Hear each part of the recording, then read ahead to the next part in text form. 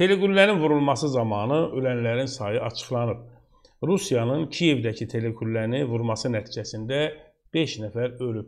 Necə bənzəyir hadisələr? Tank 1990-cı ildə Sumqayıt yolunda 3 kimyaçı alimimizin yerləşdiyi avtomobilin üstündən keçdi. Avtomobil xıncım-xıncım oldu, həmin alimlərimiz də şəhid oldu. Allah rəhmət eləsin. İndi tank e, Kiyevin küçələrində maşının üstündən keçdi. Şükür orada sürücü insan ölmədi, amma maşın eyni xıncım-xıncım oldu. Nə elədilər? 1990-cı ilin yanvarın 19-unda ya 18-də bir gün əvvəl enerji blokunu partlatdılar Bakıdakı teleqülləni. Nə eləyirlər? Kiyevdəki teleqülləni vururlar. Rus izi necə görünür aydın. Dönən burada Rauf Arifoğlu çox gözəl demişdi. Ki, biz artıq bilirik İskəndəriyemi kim atıb.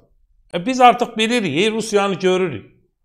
Açıqdan gizlidən bizdə elədiklərinin hamısını indi məcbur olur açıq-açığını eləyir. Açıq-açığını eləyir. Dünyaya Babi yarın eyni yerinə bomba düşəndə e, prezident Vladimir Zelenski öz Twitter hesabında yazıb. Dünyaya dünyaya yazıb. Yəni dünya sənə yazıram. Babi yarın eyni yerinə bomba düşəndə dünya susursa 80 il bir daha heç vaxt deməyin nə mənası var? Ən azı 5 nəfər həlak olub. Tarix təkrarlanır, prezident bildirib. Babi Yar Ukrayna üçün və dünya üçün çox önəmli bir yerdir. Çox önəmli bir bölgədir. 1941-ci ildə sentyabr ayının 19-unda Alman orduları Kiyevə girib. Sentyabr ayının 29-unda bütün yəhudilərə çağırış olub. Hər kəs pulunu, qızılını, zinətini, sənədlərini götürüb Babi Yarda olsun.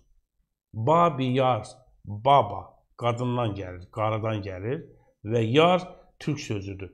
Coğrafiya. Babi yar, yar uçurum, yarğan deməkdir. Coğrafi məkan deməkdir. Tarixi çox qədimdir. Babiyar haqqında mən çox oxumuşam, əziz tamaşaçılar.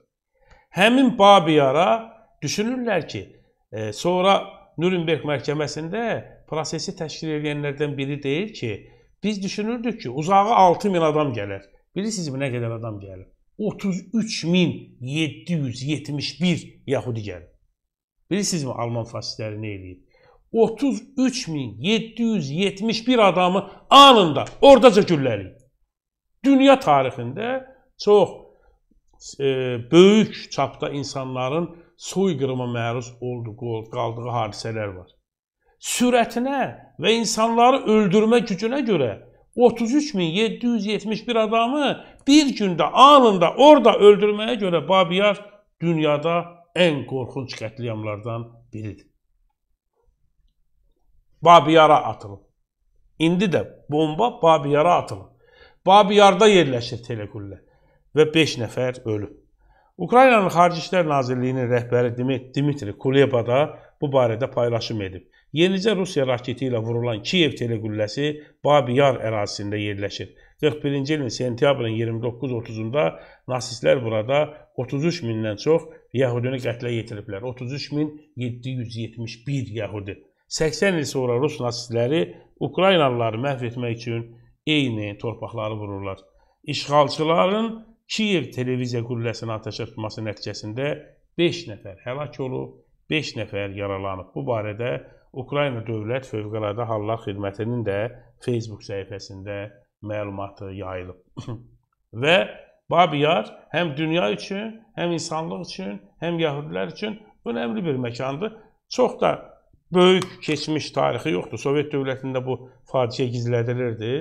2006-cı ildən meydana çıxmağa başlayıb Rusiya özünü dünyanın bütün irqləri və bütün millətləri ilə düşmən eləməyə can atır. Sanki pərgardır. Sanki Rusiyanın gerçəkdən də Putinin ağlı haralarasa qaçıb. Biz Allaha dua eləyək ki, Putinin ağlı bu günlərdə heç olmasa bir günlük özünə gəlsin və görsün ki, Rusiya və Ruslar nə gündədir.